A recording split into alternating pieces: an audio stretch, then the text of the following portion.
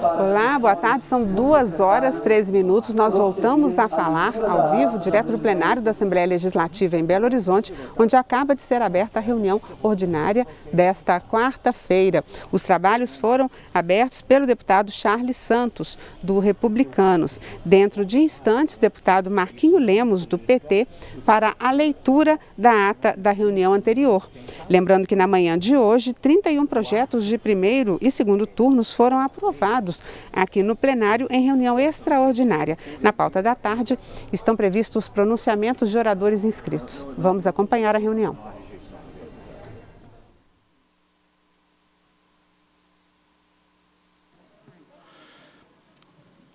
Ata da quinta reunião extraordinária da quarta sessão legislativa ordinária da 19ª legislatura, em 6 de abril de 2022. Presidência dos deputados Agostinho Patrus, Antônio Carlos Arantes e Tadeu Martins Leite. Às 10 horas e 11 minutos, havendo número regimental, a presidência declara aberta a reunião. Deputado Marquinhos Lemos, segundo secretário, procede à leitura da ata da reunião anterior, que é aprovada em restrições, sem restrições. Nos termos do edital de convocação, passa-se a segunda parte da reunião em sua segunda fase, uma vez que não há matéria a ser apreciada na primeira fase. A seguir são submetidos à votação nominal e aprovados, cada um por sua vez em turno único. O projeto de lei número 4936 de 2018, na forma do substitutivo número 2, este prejudicando o substitutivo número 1, e em primeiro turno, o projeto de lei número 1544-2020, em forma de substitutivo número 2, esse prejudicando o substitutivo número 1. Um. Neste passo, são submetidos à discussão e votação nominal e aprovados, cada um por sua vez em turno único, o projeto de lei número 2731-2015, na forma do substitutivo número 1, em segundo turno, os projetos de lei número 3.182, 2016, na forma do vencido em primeiro turno. 4.334, 2017, na forma do vencido em primeiro turno. 4.764, 2017, na forma do vencido em primeiro turno com a emenda número 1 de 5.476 de 2018, 350 de 2019, esse na forma do vencido em primeiro turno. 503 de 2019, na forma do vencido em primeiro turno. 1244 de 2019, na forma do vencido em primeiro turno. 2149 de 2020 na forma de substitutivo número 1 ao vencido em primeiro turno. 2209 de 2020 na forma de substitutivo número 1 ao vencido em primeiro turno. 2825 e 2953 de 2021, esse na forma do vencido em primeiro turno. Com a emenda número 1 e 2000 2263 2021, anunciada a discussão em primeiro turno do projeto de lei número 1477/2015 e tendo esse sido encerrado, fazendo uso da palavra para encaminhar a votação da matéria os deputados Carlos Pimenta e Bartô, após o que é submetido à votação nominal e aprovado no substitutivo número 2, este prejudicando o substitutivo número 1. Um ficando, portanto, aprovado em primeiro turno o projeto de lei número 1477 de 2015, na forma substitutiva número 2. Ato contínuo são submetidos à discussão e votação nominal e aprovados, cada um por sua vez, em primeiro turno, os projetos de lei números 4.277, 4.325 de 2017.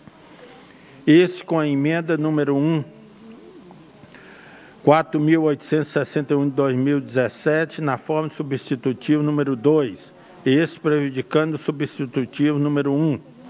5.399-2018, com a emenda número 1 de 1030-2019, na forma de substitutivo número 3, esse prejudicando os substitutivos números 1 e 2.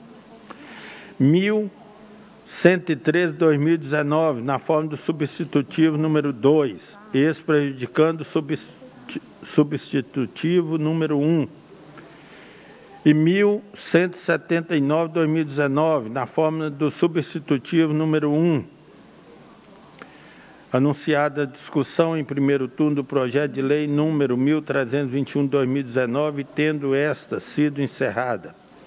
Faz uso da palavra para encaminhar a votação de, da matéria o deputado Arlen Santiago.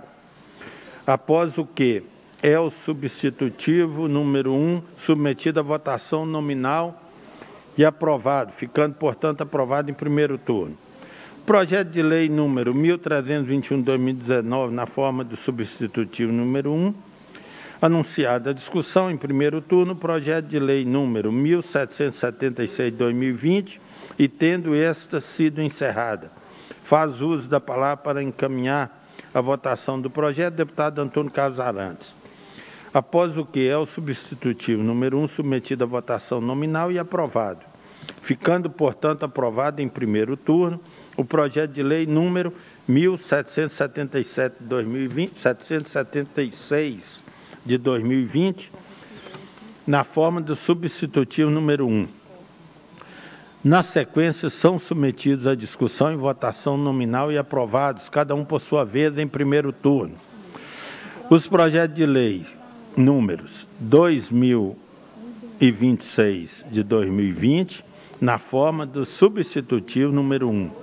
2196 2020 na forma do substitutivo número 1.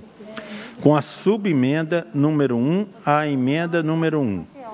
Esta prejudicando a emenda número 1 2502 2021 com a emenda número 1 2652 2021 na forma do substitutivo número 1 2.784 é, de 2021 na forma do substitutivo número 2. Esse prejudicando o substitutivo número 1. E 3.002 de 2021 com a emenda número 1. Esgotada a matéria destinada a essa fase, passa-se a terceira fase da ordem do dia, quando são submetidos à discussão e votação nominal e aprovados, cada um por sua vez. Os pareceres de redação final dos projetos de lei número 4.936-2018, 2.731-2015, 3.182-2016, 4.334 e 4.764 de 2017, 5.476 de 2018, 350, 503 e 1.244 de 2019, 2.149, 2.209 de 2020, 2.825, 2.953 e 3.263 de 2021. Isso posto, fazem uso da palavra para declaração de votos os deputados Carlos Pimenta e Bartô.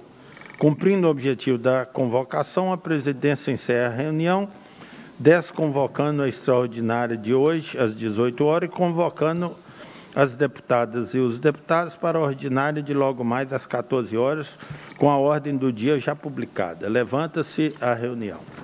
Obrigado, secretário. Deputado Marquinhos Lemos. Em discussão a ata. Não havendo quem sobre ela se manifeste, dou-a por aprovado. Não havendo correspondência a ser lida, a presidência passa a receber proposições e a conceder a palavra aos oradores inscritos para o grande expediente. Com a palavra, por, para a questão de ordem, o nobre deputado Vigílio Guimarães. Muito obrigado, presidente, querido amigo, deputado Charles, deputado Marcos Lemos, demais deputados e deputadas. Eu até inicialmente havia me inscrito para fazer uma retificação da ata, mas a ata da sessão de ontem à tarde já foi discutido. Mas, na realidade mesmo, presidente, eu não ia retificar a ata, eu ia retificar a minha fala. Eu ontem falei em trânsito pelo celular, enquanto eu fazia uma saudação justíssima, que reitero aqui, da filiação da nossa colega, nossa Andréia de Jesus, ao Partido dos Trabalhadores, recebi na mesma tela uma mensagem. Não se esqueça do Mitre. O Mitre se filiou ao PSB, que é aliado do PT, é coligado ao PT na esfera nacional, que poderá ou não é, é, participar da nossa federação. Claro que eu deveria ter completado, e é essa retificação que falo da minha fala, ao cumprimentar o nosso colega, o deputado Betinho, que se filiou ao PV da nossa federação. Né? Mas ah, eu colhido de surpresa por uma mensagem e que eu deveria acrescentar também a saudação aos nossos aliados, aos nossos aliados, novos aliados do partido aliado do PSB. E aí sim, aí sim, o deputado Gustavo Mitre, né, que é, é, e o deputado Nelando, que foram os novos filiados ao PSB. Então, é, é, eu quero aqui me dar um abraço em todos os três, me corrigir, não sei se é culpa da idade, da distração, do Covid que tive, sei lá. Mas o importante é que meu abraço vai para os três, além da nossa querida Andréia. Vai para minha efusiva saudação de recepção, de alegria, ao Betinho, ao Mitre e também ao nosso colega ali do Vale do Mucuri, o Neilando, que, ao, aos quais recebo com alegria na campanha conjunta que faremos em torno do companheiro Lula para presidente. Muito obrigado, presidente. Fica aqui, então, a minha correção, não da ata, mas da minha própria fala, pedindo desculpas e reiterando o meu abraço a todos os três, além da Andréa. Muito obrigado, deputado Virgílio Guimarães. Com a palavra, a deputada Andréa de Jesus.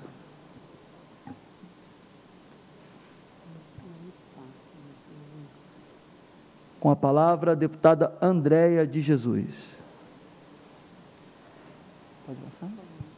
Em sua ausência, deputado Marquinho Lemos, para o uso da palavra.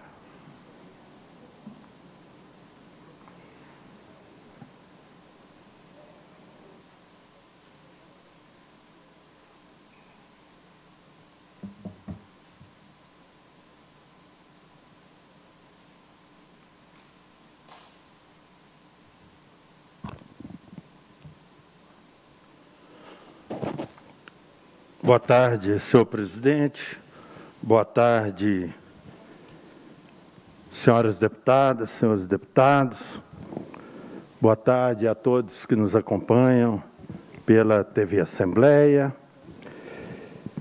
É com muita alegria, com muita alegria que eu subo hoje a essa tribuna para poder aqui agradecer a todos e a todos aos colegas deputados e deputadas que votaram pela aprovação do meu projeto de lei 2149. Esse projeto que foi denominado Chame a Frida. O Chame a Frida já provou que dá certo. Foi um projeto que já foi instalado em várias cidades, que já contam com serviço de denúncia é, de violência contra a mulher via número de WhatsApp. Entre essas cidades, eu relato aqui Manhuaçu, Ipatinga, é, Coronel Fabriciano, Governador Valadares, Betim e Lagoa Santa. Projeto que também já recebeu vários prêmios. Recebeu o prêmio como Inovare 2021, o mais importante da justiça brasileira, o Inova, do governo do Estado. E agora, com a aprovação desse projeto de lei, o Chame a Frida terá a chance de chegar nas delegacias de todas as cidades do nosso Estado, facilitando as denúncias de violência contra a mulher. Esperamos agora que o nosso governador Romeu Zema tenha sensibilidade para entender a importância desse projeto e o sancione, implantando o mais rapidamente, garantindo a sua eficácia e que, de fato, ele chegue aos quatro cantos do estado de Minas Gerais. Porque temos certeza que, assim como essa casa aprovou esse projeto, o governador também vai entender que viver sem violência é um direito de todos. É a base para a construção de uma sociedade melhor. Essa luta deve ser de todos nós.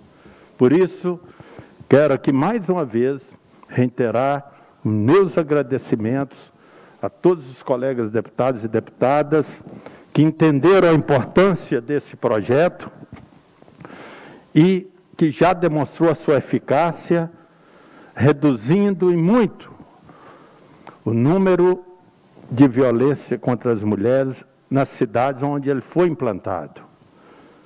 Mesmo demonstrando também a facilidade do acesso para que a mulher ou aquele que esteja presenciando algum ato de violência contra a mulher possa fazer a sua denúncia. Então, por isso que nós entendemos que assim que o governador sancionar esse projeto de lei, também terá a mesma agilidade para colocá-lo em prática em cada uma das nossas delegacias pelo estado de Minas afora. Então, mais uma vez, nosso agradecimento. E quero aproveitar aqui, meu colega deputado Vigílio, dizer que daqui a dois dias né, o governador vai estar lá no Vale de Jequitinhonha, vai estar em Araçuaí. E esperamos que, ao ir lá no Vale de Jequitinhonha, não seja mais uma viagem para anunciar projetos e que não acontecem na prática. Principalmente agora, que vai chegando próximas eleições, começa a aparecer tanto anúncio, anúncio de obras, só que nós temos que lembrar que, principalmente, aqueles que utilizam da 367 foram quase quatro anos passando por estradas que só nos causou prejuízo, dor, sofrimento, e que agora parece que vai ser anunciado a reforma desta, dessa BR-367, que é de responsabilidade do Estado. Esperamos que isso aconteça e que a ponte que garantiram, que declararam que a ponte do Mendanha seria colocada em uso, mesmo só para automóveis, em 20 dias, ela ficou 60 dias, causando tanto transtornos, fazendo com que a população tivesse que dar uma volta imensa para chegar até o hospital em Diamantina ou para vir para Belo Horizonte. Foram 60 dias aguardando. E agora nós sabemos que ela está sendo utilizada só em parte, e por carros pequenos, por automóveis. E esperamos que as obras da reforma e dos consertos que se fazem necessários naquela ponte do Mendanha seja feito mais rápido, que não se prolonguem ao longo desse ano e ficando até para o ano que vem, enquanto isso quem tem que fazer algum, alguma viagem ao Vale de Jequitinhonha, levando alguma carga, alguma coisa mais pesada, tem que dar a volta ou por Itabira, Guanhães, ou por Bocaiúva, aumentando muito a distância para chegar ao Vale de Jequitinhonha. Então, nós esperamos que a ida do governador a Araçuaí também né, faça com que ele olhe com mais carinho agora, mesmo já chegando nos finalmente do seu governo, mas que ele olhe e ele vai ver que até agora não fez nada no Jequitinhonha. Não tem nada a ser entregue no Vale de Jequitinhonha. E olha que nós estamos falando de quase quatro anos de governo. Então, por isso que a gente espera que, ao anunciar, se é que ele vai anunciar, alguma obra, que ele vai anunciar algum projeto para o Vale de Jequitinhonha, que seja alguma coisa que aconteça ainda nesse governo. Com a palavra, a parte, o nobre deputado Vigílio. A parte é para cumprimentar, primeiro, efusivamente, pelo projeto né? o Chame a Frida. É um projeto que já vem pegando, facilita tudo, une a preocupação com a mulher, a defesa da mulher com a tecnologia. Parabéns pela apresentação do projeto e pedimos ao governo que também o implemente efetivamente o quanto antes, porque muitas vidas serão poupadas com a implementação desse projeto. No que se refere às obras, o que chama a atenção, que muito daquilo que era emergencial, na época da da enchente grave que se abateu por várias cidades ali do Vale de Jequitinhonha, do Mucuri. E, e, até hoje, ainda falta muito para ser feito. Então, eu faço um apelo aqui, não só ao governador, mas também ao secretário do CEINFRA, uma pessoa competente, que trabalha e que tem recursos hoje, os recursos oriundos da Vale e tudo mais. Me somo nesse apelo, né? E só para, para relembrar aqui, deputado, sobre a questão da ponte, eu me, me, me lembrei de uma ponte da 135, na, pouco depois da entrada do município de Corveiro, quem vai daqui para lá, que ficou mais de um ano, cobrando até pedágio para quem tinha que fazer um desvio. E essa ponte também, Mendanha, que, você, que Vossa Excelência lembrou aqui, eu entrei aqui na internet e vi que no ano de 55 antes de Cristo, 55 AC. Portanto, 2077 anos atrás. 2077 anos atrás. O, os romanos, quando planejaram entrar na Alemanha, na hoje Alemanha, tiveram que construir uma ponte sobre o rio Remo. Está aqui. Em dez dias, construíram uma ponte de 9 metros de largura, com 400 metros de comprimento, com a com uma profundidade bastante grande. Portanto, naquele tempo sem tecnologia nem nada, mas com coragem e determinação, as coisas acontecem. E é isso que eu espero, que até o final do ano a nossa sofrida população do norte de Minas, Jequitinhonha e Mucuri sejam adequadamente socorridos. Muito obrigado, deputado Virgílio. E é isso. Né? Nós esperamos que o governo tenha o um olhar com determinação, principalmente é, com a boa vontade de, de fato, querer atender o povo do Vale de Jequitinhonha. Mais uma vez, agradeço aqui a todos os colegas deputados e deputadas pelo apoio, pelo voto ao nosso projeto. Obrigado, deputado Marquinhos Lemos. Com a palavra, o deputado Sargento Rodrigues.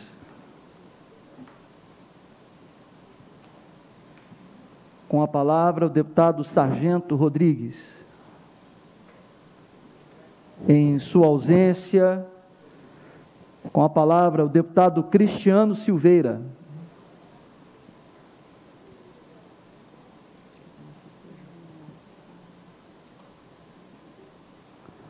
Com a palavra, deputado Cristiano Silveira. Em sua ausência, deputado Virgílio Guimarães, com a palavra. Muito obrigado, presidente. Eu, como eu fiquei um pouco perdido onde seria a minha inscrição melhor, eu havia feito essa inscrição, depois mudei de ideia, fui para a ata, acabei fazendo questão de ordem, já está feita. Então, nesse sentido, eu peço a minha substituição, da suspensão da minha inscrição, deveria ter feito aqui pelo aplicativo, mas chamado aqui, eu declino e agradeço a atenção de Vossa Excelência. Ok, deputado. Uma palavra, deputado Fernando Pacheco.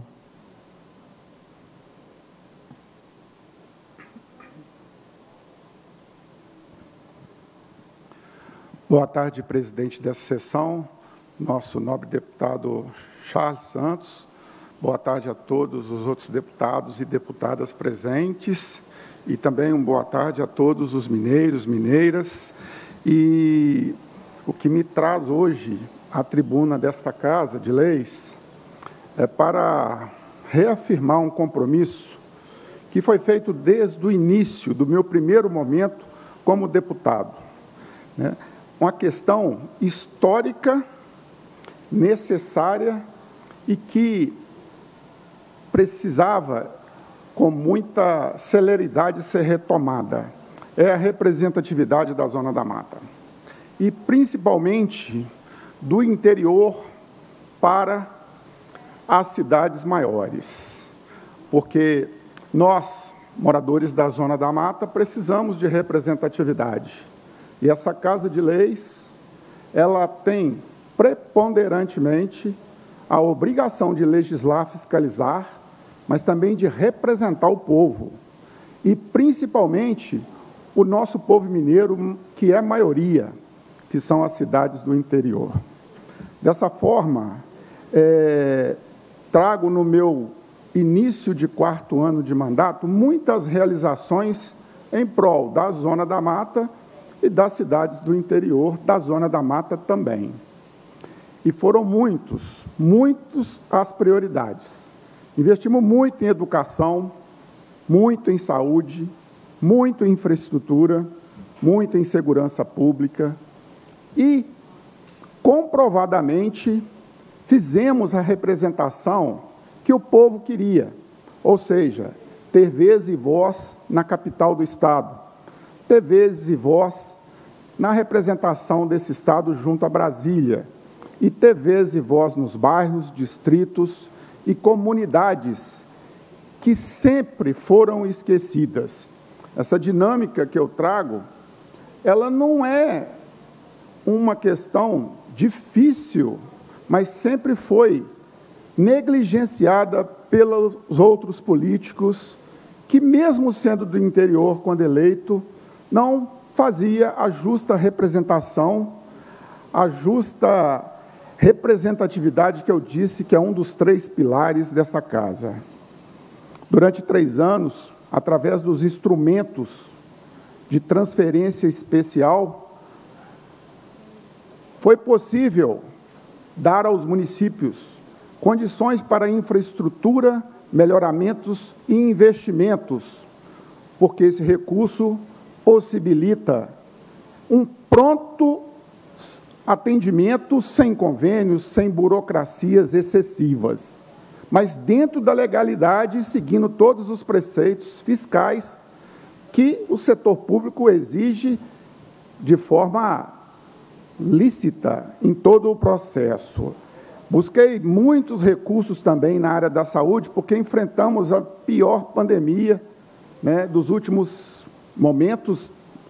Né, há mais de 100 anos não tinha um quadro tão complicado de instabilidade sanitária e destinamos milhares, milhões de recursos para hospitais de toda a nossa microrregião e de algumas macro-regiões também. Posso citar Cataguases, Além Paraíba, Leopoldina, Recreio, Palma, Laranjal, Ubá. Mandamos recursos para Astolfo Dutra e Dona Eusébia. Fizemos parcerias com Carangola, com Miradouro, com Vieiras e tantas outras que a gente, de forma complementar também, ajudamos fora da medicina especializada, com recursos da atenção básica, da atenção primária. Esse conjunto de assistência em períodos de instabilidade sanitária promoveu, de certa forma, uma confiança e uma garantia que essa representatividade traz para o cidadão do interior, traz para o cidadão da Zona da Mata. Zona da Mata já foi pujante, tanto economicamente quanto politicamente, e declinou muito. Mas nós temos esse compromisso de retomada para o protagonismo que ela sempre teve em nosso Estado, inclusive figurando né, anteriormente a Belo Horizonte como a, principal região que trazia a economia do nosso Estado Destaque a nível até nacional. Enfrentamos, é verdade, nesse caminho, outros desafios. Renovar com a educação um compromisso, um compromisso físico pelas estruturas escolares herdadas com tanto termos de compromisso, com tantas projeções não realizadas. E atuamos em 42 escolas municipais, de mais de 30 cidades, com mais de 15 reformas totais e com mais de 30 investimentos em imobiliários também. Na segurança pública, com muitas viaturas da Polícia Militar, nove ao todo, com a parceria também do deputado Marcos Pestana, que ainda é deputado federal, nos concedeu cinco viaturas, mas também trouxemos outras quatro e agora estamos entregando, vou recolher amanhã, mais uma viatura da Polícia Civil aqui no aeroporto da Pampulha. É, tudo isso foi pontos que eu elevo, mas temos também que focar nos pontos necessários de enfrentamento. E aí eu me deparo com os problemas das rodovias e com os problemas de chuvas em períodos onde a chuva ela causa o que nós percebemos recentemente: muitos desabrigados, muitos desalojados, muitos danos ao patrimônio público e muitas vidas sendo ceifadas sem necessidade de que isso tivesse que acontecer da forma como aconteceu. E aí, a gente quer dizer para esse cidadão da Zona da Mata que essa luta ela começou comigo lá em 2019 e eu tenho inúmeros requerimentos, pedidos de providências, tenho também inúmeros é, proposições para que isso pudesse acontecer. Ainda não aconteceu, mas as cobranças estão sendo feitas e temos a expectativa, até por causa do clamor de toda a população de Minas Gerais, que não podemos mais esperar pelas tão sonhadas reformas nas nossas rodovias, seja no acesso de chegada às cidades, seja no contornos e acessos viários, seja também nos trechos já contínuos de rodovias que ligam a grandes BRs, que necessitam de uma manutenção que já não existia e que ainda não aconteceu. Então, estamos aqui para dizer: começamos o processo, e ele vai ter o início do cronograma efetivo. Tenham certeza, a gente está nas tratativas com o governo para isso. E é essa a função do deputado, fiscalizando, legislando e representando a busca por soluções desse povo que tanto pediu pouco e não tem recebido quase nada. Dessa forma, a gente propõe uma produção legislativa que, com os limites da lei, não pode se transformar em executiva, mas nós proporcionamos todas as viabilidades possíveis, todas as situações para convencimento ao Poder Executivo investir, porque apresentamos não só projetos de viabilidade, mas também projetos executivos e bons projetos de parceria.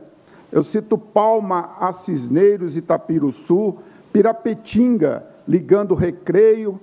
A gente vê possibilidades de ligar é, até Manhuaçu por Palma, e a gente tem tantos outros eixos estruturantes que é estritamente do interior. A Lei Paraíba, que ali na divisa com o estado do Rio também precisa de um olhar e um cuidado especial. Nós temos toda a divisa do estado do Rio, ali na Zona da Mata, onde pega Chiador, além Paraíba, Mar de Espanha, Santana do Deserto. A gente tem, Simão Pereira, a gente tem tantas cidades ali que a gente está atuando e levando para esse cidadão o olhar da representatividade, o olhar do compromisso, da parceria e o olhar da presença e garantia que ele tem um representante e um fiel escudeiro para defender. Tudo que foi feito ainda é pouco, mas muito do que precisa está já elaborado em planos de trabalhos e cumprimento de metas, seja em parceria com o governo, ou seja através de emendas que possam promover parcerias público-privado ou público-público. E aí, essas inovações têm que vir com criatividade para atender o interior, para atender a zona da mata.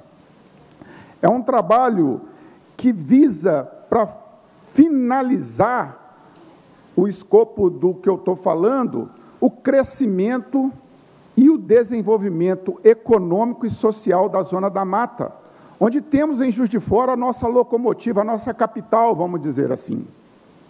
Juiz de Fora eu tenho presença no, nas obras de manutenção do Distrito Industrial de Benfica, onde encaminhamos por transferência especial mais de 700 mil para resolver um problema de drenagem, mas temos compromisso também com Brasília para trazermos 8 milhões para terminar a obra de um distrito industrial de suma importância para a nossa região, para aquela cidade tão importante que é Juiz de Fora.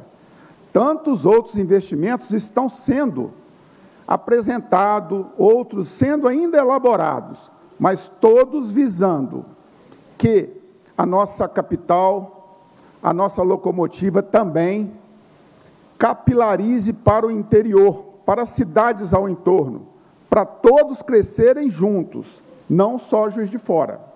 Juiz de Fora sempre será o nosso polo maior, mas sempre também será uma maneira nova de descentralizar o que nós precisamos para o crescimento e o desenvolvimento. E eu, como membro, vice-presidente da Comissão de Gastronomia e Turismo, estou focado no imediato movimento para os eventos, para a cultura, para o turismo, pensando e alcançando um alvo que eu chamo de economia criativa, que é o quê?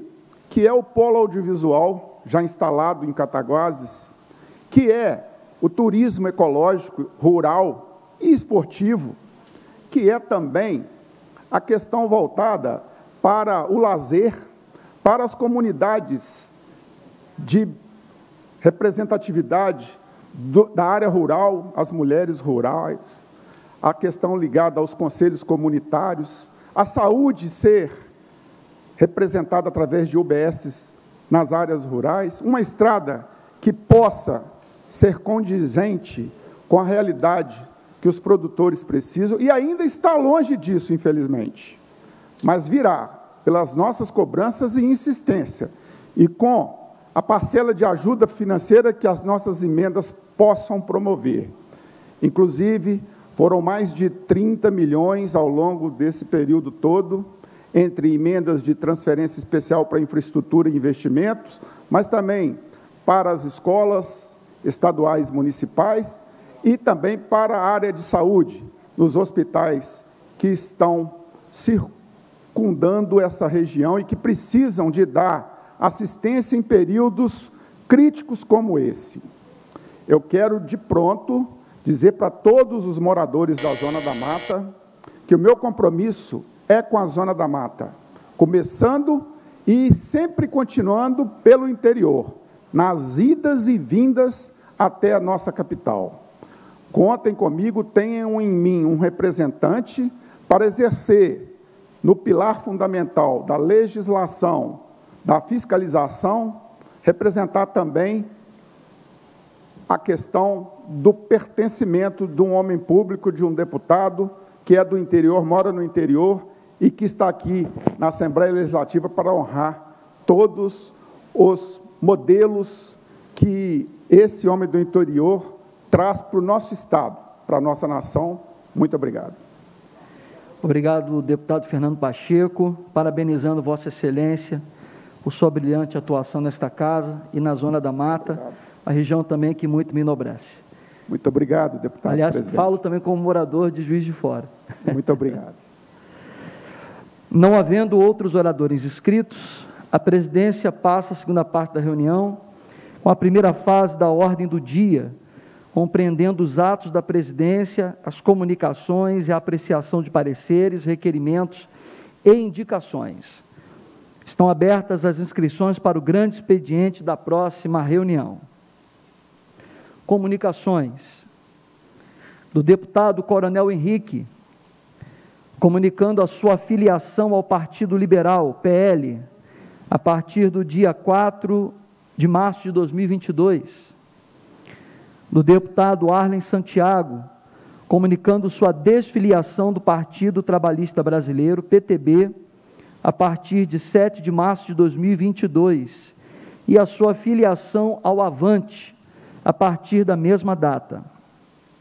Do deputado Bartô, comunicando a sua filiação ao Partido Liberal, PL, a partir de 10 de março de 2022.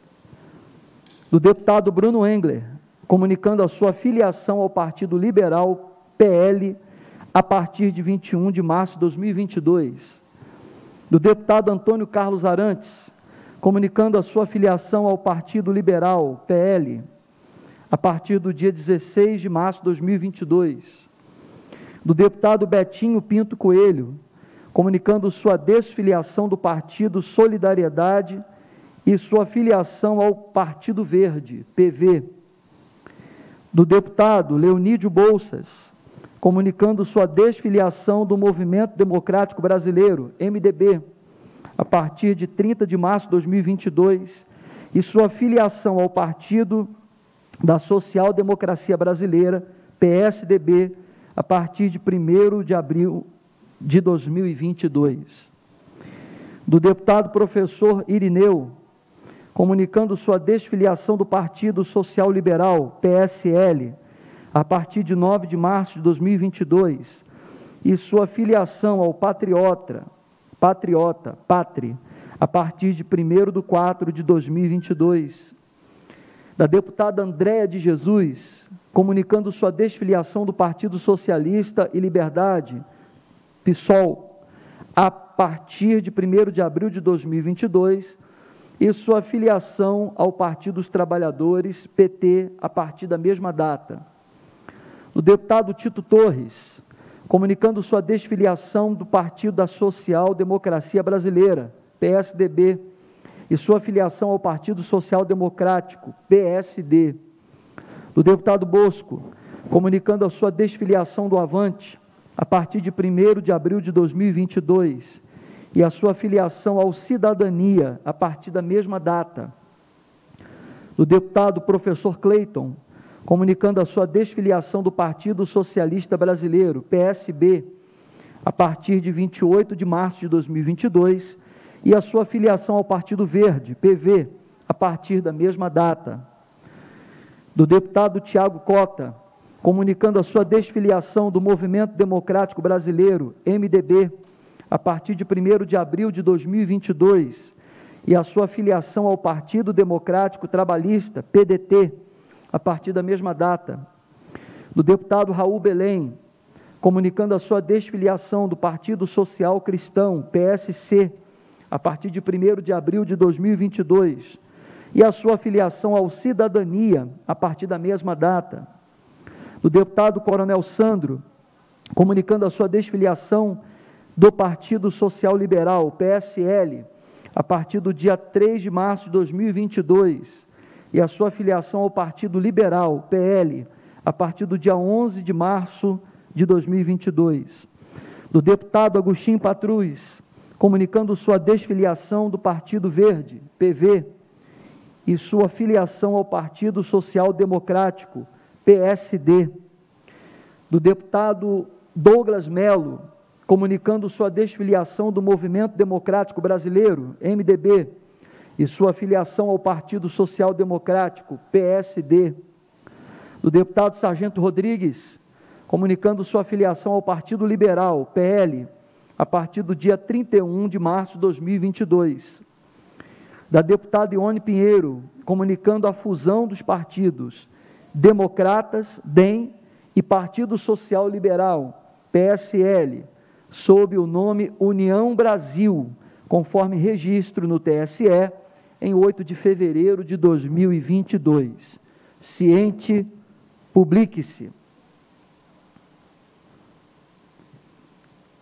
A presidência comunica que foram aprovados conclusivamente, nos termos do parágrafo único do artigo 103 do Regimento Interno, os requerimentos números 10.836, 10.838 de 2022, da Comissão de Direitos da Mulher, 10.859 de 2022, da Comissão de Transporte, publique-se para os fins do artigo 104 do Regimento Interno, em 6 de abril de 2022. As comissões permanentes comunicam a apreciação conclusiva de matéria nas seguintes reuniões: Comissão de Administração Pública, reunião ordinária de reunião extraordinária, perdão, de 30 de março de 2022. Comissão de Agropecuária, reunião extraordinária de 6 de abril de 2022, ciente, publique-se. A presidência encerra a reunião e convoca as deputadas e os deputados para a reunião ordinária de amanhã, dia 7, às 14 horas, com a ordem do dia a ser publicada.